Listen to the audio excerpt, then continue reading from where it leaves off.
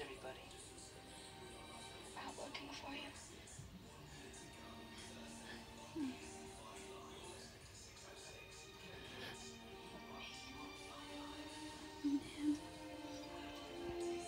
I want him to homosexual to me.